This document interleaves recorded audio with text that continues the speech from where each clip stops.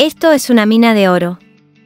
Si alguna vez has arrojado a la basura las semillas del pimiento, nunca vuelvas a hacerlo.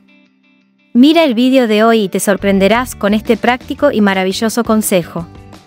Te enseñaré cómo plantar este pimiento en un florero que tengas disponible. Al cosechar los hermosos y saludables pimientos, ahorrarás mucho más. Además de que tendrás un vegetal libre de venenos o antioxidantes de los que se ofrecen a la venta. Y todo esto sin mucho esfuerzo, de la forma más sencilla posible. Con este vídeo aprenderás cómo hacer que tus semillas germinen mejor y más rápido de manera correcta.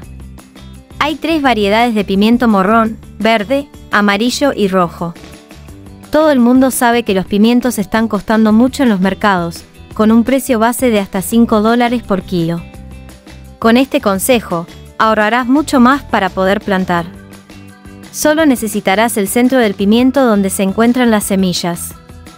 Deja secar al sol durante dos días y luego quita todas las semillas de ese núcleo rico en nutrientes. El pimiento morrón es una fuente de vitaminas A, C, B y minerales con propiedades antioxidantes que combaten los radicales libres y previenen el envejecimiento prematuro. Se puede consumir crudo, asado o cocido en diversos platos calientes y ensaladas. Haz pequeños agujeros en la tierra del jarrón y coloca las semillas dentro. Mientras tanto, cuéntame en los comentarios donde estás viendo este vídeo, me gusta saber el destino al que llega nuestro trabajo. El pimiento es una verdura con propiedades muy beneficiosas para la salud, potenciando la inmunidad, previniendo problemas de visión, equilibrando el estado de ánimo, favoreciendo la pérdida de peso y ayudando a mantener la piel joven y fresca. Luego, cubrimos estos agujeros con más tierra para cubrir las semillas. Otros beneficios que aporta el pimiento morrón a los humanos son prevenir la anemia, prevenir el cáncer, brindar salud ocular, aliviar afecciones inflamatorias y gastritis, aumentar la inmunidad, favorecer el sueño y reducir el colesterol, aliviar el dolor y mucho más.